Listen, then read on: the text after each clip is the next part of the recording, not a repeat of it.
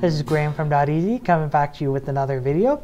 We've been doing a lot of websites recently that have been using WordPress as a base to make them. So what we're going to be doing today is we're going to be showing specifically one plugin that can easily help you create and make your pages a little more orderly without any too many theatrics. Now the nice thing about this specific plugin is, is it goes ahead and allows you to move it and really create the page as you see it.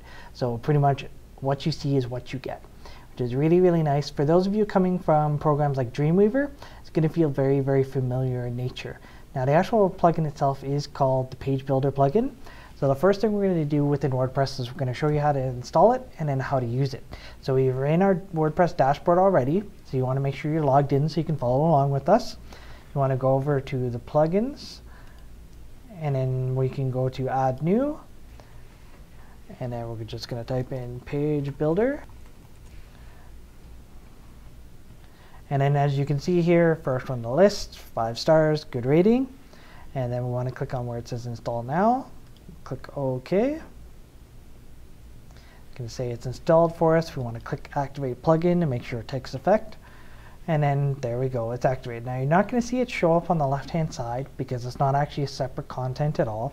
What it does is it goes and effect, takes effect on the pages. So we're going to go to pages now and we're going to go to where it says add new page. Now in here we can type in whatever page we want. We're gonna, just going to call it page one in this case. Now what you're going to notice for those of you who are used to using WordPress is you'll see the visual and text you're normally used to, but here's where it actually gets added in. You want to go to where it says page builder on the side here. Now you're going to see right now it's got this blue bar and really nothing to do with it. So the way this works is it's got two buttons. One is add widget and one is add row. Now, Page Builder uses widgets, which are different things like calendar, text, links, picture galleries, things like that. Little different programs that you can set up to make your page look a little better off for what it wants. Whereas the add row is adding additional rows down the page. So we're going to start off by we're going to be adding a row. We're going to do a two column one and then we're going to add one that's three column just so you can see what it is. So as you can see here, it very easily modifies them now you can go ahead and you can shrink them. So if you want to make a really large page, there's no point. You can see it actually removes it off. And we can go ahead and we can make any kind of a change so you can actually drag and drop it around. It's very nice. So we can move it down below like that. You can even go ahead and you can modify these sides a bit. You can shrink them, put them across. So you can see it's very, very easy to modify the actual amounts, modify them around. And you can kind of set up the page exactly how you want. So the way you can add content in here, now that we kind of played around with the sizings a bit, is we're going to go to where it says add widget, and then we can select from a whole bunch here. So you can even install additional plugins from this point just to get more widgets, but this is the basic group you're looking at. So the first one we're going to do is we're going to go ahead and set up a calendar. So it's going to ask you for a title of the calendar. In this case, we're just going to call it test one, keep it very simple. I'm going to put it here. If we ever want to move it, we can say just drag and drop, and bang, it's over in this spot here. We can even put it here or even here. So you can move it freely amongst the entire thing. Very simple, very easy to do. Now, the way it controls where the widget goes is actually which one of these is highlighted. So which one is ever darker blue. So we're going to go ahead and click here. And then we're going to just click on text for this one. We're going to type in just heading. And this is uh, heading. And I'm going to click done. I'm going to go down to this we're going to go to this one here, just go to add a search. And just going to call this search again. Going to go down to this one. And let's go ahead and let's add in recent posts. Uh, post section, you can modify how many posts you want, display the post date, we're going to click yes. And then for this last one here, let's go ahead archive, something simple. And then display the drop down, show post count, done. So as we can see here, we've set up a very basic page.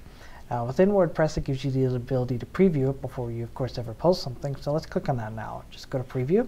As you can see here, it set up this page pretty much exactly like we were doing. Now you may need to work a little bit with the sizes depending on how your theme and everything else play in.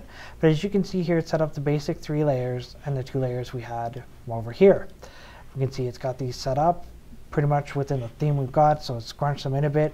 If we got rid of this page, you'd see this middle part stretch out a bit. You see that the one on the left reflected, so it'd look a little closer to this, because as you see, it does work within a percentage. So it does mean that within this basic page box, it's actually working within that percentage itself. So just keep that in mind when you are doing it. It's not using absolute positions or it's not using pixels, it's using actual percentages of the page. So we'll move and float around. But from this you can see it does set it up so you can very easily create a page. It does work with most themes so you will be able to find out that it will use the same layouts, so background, layout, additional features you may get within it itself, so different widgets. And that can easily be used to set up a page for really any site using. So it is a very easy, simple way to set up pages a little more orderly without any real experience. You're just clicking, dropping, dragging, picking which one you want. Very easy, very much what you see is what you get. So this is another way you can easily set up a page. You can use it with any of the existing tutorials we've already done to help manage the page a little better. You can even use it on a site that you've already been managing for a while. For those of you just starting, it's a nice easy way you can use to create pages for WordPress and once you're a little familiar, you may go into the coding itself. But till then, this is definitely an easy way of doing it. If you have any questions or anything about this feature or any others you'd like to see, any plugins or anything like that, leave us notes in the comments. You can also follow us on Twitter. You can like us on Facebook and subscribe to our YouTube channel as well. Thank you.